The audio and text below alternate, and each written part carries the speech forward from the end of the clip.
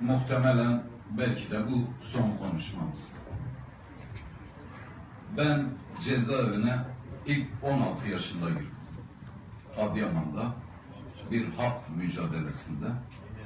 Sonra 18 yaşında Beynelminel'e de geleceğiz. 18 yaşında 12 Eylül faşizmine karşı direndiğim için tekrar girdim. 12 yıl ağır hapse mahkum edildim. Cezaevinde 50 günden fazla ölüm orucu direnişi gerçekleştirdim. Anayasal düzeni tağyir, tebdil ve ilgaya tam teşebbüsten ceza aldım. Ee, sonra çıktıktan sonra bu memleketin yeni anayasasını yazım komisyonunda yer aldım. Hep birlikte o eski anayasayı mahkum ettik.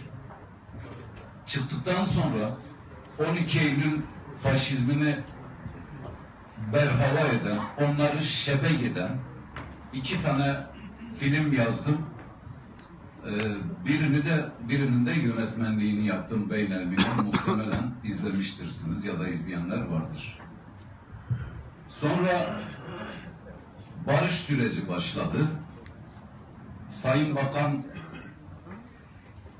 da dahil olmak üzere bakanlarla istihbarat örgütüyle Milli Güvenlik Kurulu temsilcileriyle PKK ile Sayın Öcalan'la üç buçuk sene süren düzenli görüşmeler yaptık.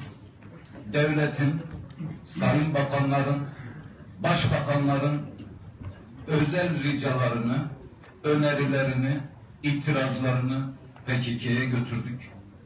Onlarla günlerce aynı sığınaklarda kaldım. Günlerce tartıştık, değerlendirdik. Bu ülkeye barışı getirmek için.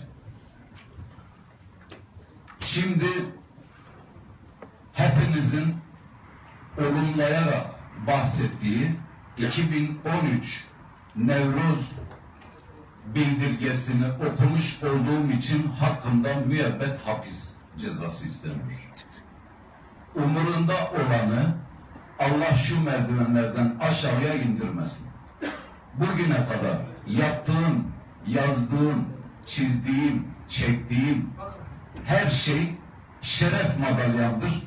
Bir şeref madalyası da siz takacaksınız. Hepinize müteşekkir olacağım. Bu şükran borcumu bu dönemi de şebek eden bir film çekmesem bütün emeğim, bütün hünerim bana haram olsun. Kimse kendini orada görmek istemeyecek. Niye? Ben bu mecliste bir şerefli iş daha yaptım. Bana bu da nasip oldu. Darbeleri araştırma komisyonunda görev aldım. Bana bizzat işkence yapan